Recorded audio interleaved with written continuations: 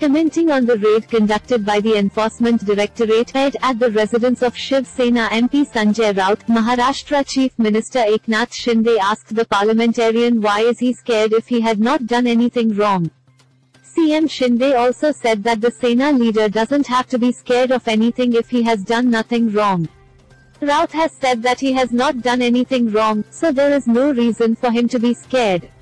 He added, if anyone is scared of the actions of the ED they should not join us at the BJP.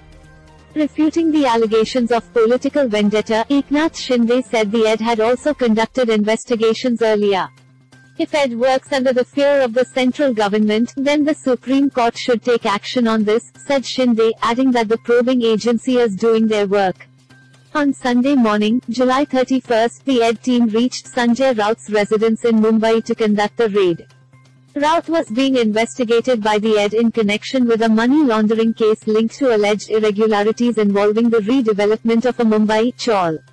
Raut was earlier summoned by the probe agency on July 20, which he skipped and informed through his lawyers that due to the ongoing parliament session, he could appear only after August 7.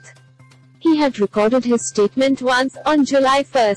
The ED had attached Raut's properties in Dadar and Alibag in the case.